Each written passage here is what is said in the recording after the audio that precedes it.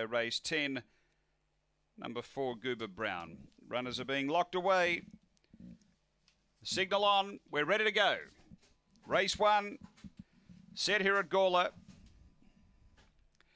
Away. Speed from More Than Black down near the inside. Pushing on is Indiana McBain. They go to the first bend, and More Than Black gets away from Indiana McBain. Three away, Bolt away, Bill. Then Slave to Love. Uh, next, Maximum Stress from J Jacket. Then Justice Mary and Justice Ugly. Up to the bend, More Than Black had a nice lead. It's clear over Indiana McBain. More Than Black in front. And More Than Black beats Indiana McBain, who did finish it off well. Then Slave to Love. Behind those, we had uh, J Jacket. And next is behind those, Bolt away Bill, maximum stress, Justice Ugly and Justice Mary. The time here is 23 and 21.